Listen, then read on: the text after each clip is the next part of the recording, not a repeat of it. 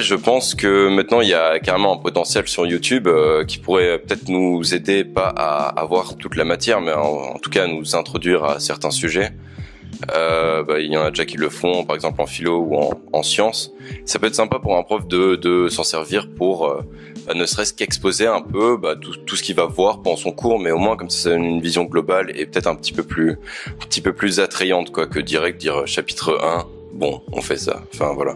Moi je pense que oui, parce qu'il faut vivre avec son temps et euh, faut évoluer, et que plus on va avancer, plus je pense euh, les, les élèves seront à l'aise avec euh, les professeurs. Moi, je trouve que oui, parce qu'on vit dans un monde qui a déjà beaucoup développé euh, par, par rapport des années avant.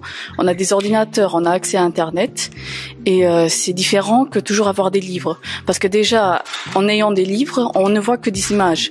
Alors, on ne voit seulement les choses qu'on a devant nous. Mais si, par exemple, on a une vidéo, on peut y mettre de l'émotion, on peut y mettre de la musique, on peut y mettre beaucoup de choses, et ça aide beaucoup à comprendre, euh, à comprendre plus la situation dans laquelle on est en train de traiter.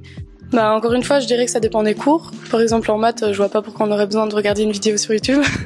mais euh, pour, euh, oui, par exemple en Ardex, on l'utilise tout le temps. Mais même pour euh, français, etc., il y a certaines, quand on voit le, cinéma, etc., je trouve c'est toujours intéressant de voir des films. Et même par exemple en histoire ou en géo, les documentaires c'est toujours plus ludique. Bah, ça dépend dans quel cours, mais quand je vois par exemple dans ma classe, je sais très bien que ça partirait n'importe comment mais n'importe comment dans tous les sens il y aurait des bruits de PC tout le temps euh, enfin si on demande d'aller chercher un truc sur le smartphone ça partirait sur Facebook des trucs comme ça donc finalement non je pense pas je pense que si les profs utilisaient euh, plus de PowerPoint de vidéos ou de support image les élèves seraient moins attentifs je pense que ça peut être bénéfique. Après, moi, je suis, je suis plus un fan de, de l'ancienne école, on va dire. J'aime bien gratter le papier.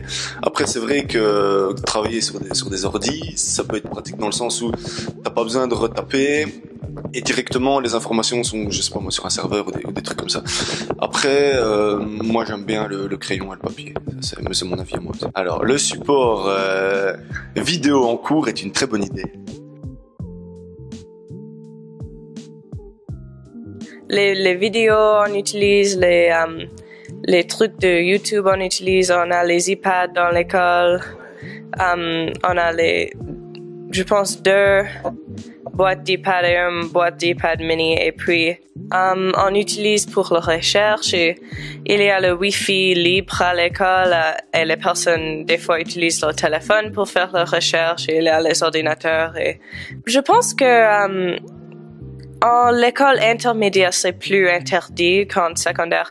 Et c'est, si, si un prof te, t'attrape sur Facebook ou quelque chose, tu, il va prendre. Mais je, je pense que après un certain point, les personnes arrêtent d'utiliser pour les choses qui ne sont pas permis parce que le, le, um, le truc de, oh, je peux utiliser mon téléphone en classe, ça part